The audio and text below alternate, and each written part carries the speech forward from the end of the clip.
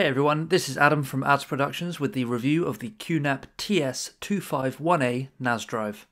Before watching this video, it may be worth checking out my other two videos on the unboxing and the setup of this particular drive. Links for those are in the description. The design of this NAS is fairly typical. We have an overall white colour scheme here, with the only alternative being the strip with the buttons and inputs on the front. The contents included within the box are perfectly adequate and I didn't find myself looking for any spare parts. Short and simple, one NAS, a couple of components and some screws, job done.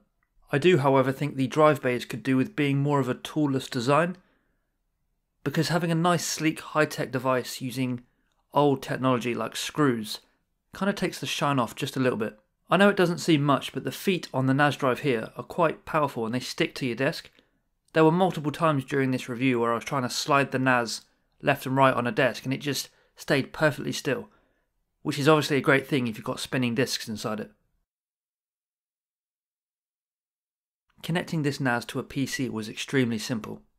There are a range of tools available to make sure you can connect it in the right way that suits you. With this NAS, I really like how you can configure very advanced and specific details, such as the network configuration and RAID array. Other NAS drives do let you do this, it just feels like the QNAP ones let you do it in more detail. Also, with other NAS drives from different manufacturers, you have to wait until the device is initialized before you can change any of these or most of these components. Let's take a little look at the dashboard now. Obviously, when you browse to the device, you're going to be greeted with a login screen and in this case they have gone above and beyond because in the background you can see the stock photos. Now these can be changed for other photos of your own personal ones, however personally I think this is a little bit too try hard for me. All you need is a login page because you're just going to put in your admin username, your admin password, and then you're in. There's not a real need here for it, but it's a nice touch, I'll give them that. There is a help desk app that comes as default with this NAS drive. This is really good because it helps you search their knowledge base if you've got any issues whatsoever here. You shouldn't do, but just in case, it's there for you. Backup Station is where you can configure the backup, the replication, the cloud storage if you want to. As standard, this NAS wants to use the Amazon Cloud Services, however, you can configure it to use other services such as Microsoft Azure. File Station is one of the integral apps on this device and allows you to see all the files and folders along with their respective parent folders. So you can see the entire structure to avoid any confusion and have it in a very categorical view. And obviously there is the control panel, the brain. You can change the settings, add users, configure security, change permissions, update the firmware, view the disk health. There's a whole range of things you can do here. I could make a whole 10 minute video on this. I'm not going to, but there's a lot there. Take a look for yourself. There is a very handy button at the top right of the device called the dashboard. This gives you an overview of the device, as well as storage quotas, hard disk health. For example, just by clicking on it, I can see that the system temperature is 31 degrees Celsius and one of the drives is showing as abnormal. Obviously, I'm going to replace that disk then because the NAS has told me it's unhealthy.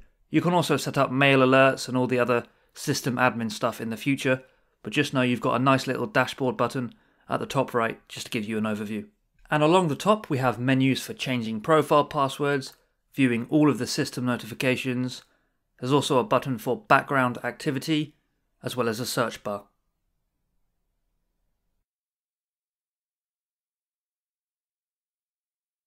The App Store is the life of the drive, allowing you to customize your device to your heart's content.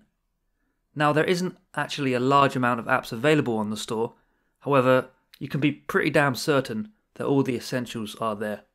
Whether you're looking for a multimedia solution, an antivirus, Microsoft Azure connectivity, it will all be there ready to go. The Quick Connect USB port on the front is very handy if you want to move data from the NAS to a USB stick or external hard drive, or if your name's Edward Snowden and you just want to steal secrets from it and put it on a USB to sneak it to a different country. It's completely up to you, I'm not going to judge you. You can actually hook this NAS up to a TV or monitor with the HDMI port, which is great if you're a tech guy trying to make a quick change on the NAS by hooking it up to a monitor just for a quick file transfer, quick permission change, you name it. A remote control. Not usually something you would associate with a NAS drive.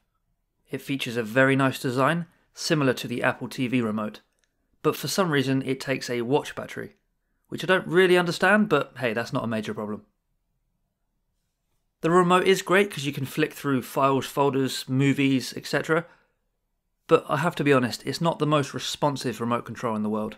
There is an alternative to using the remote control if you don't want to. On the App Store, on both Android and iPhone, you can actually download a QNAP app that turns your phone into a remote control. In my opinion, this is far superior because included as part of this app features a mouse trackpad, multimedia buttons, on screen keyboard, quick launch apps from the main menu, and much more.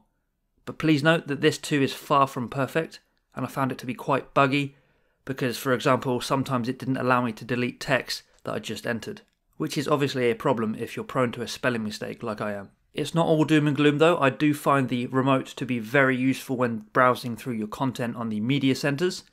This means you can just bring up any videos, any pictures, any audio clips, any application that you want to use directly on your TV, treating it more as a media console than a NAS drive, which is pretty cool if you ask me.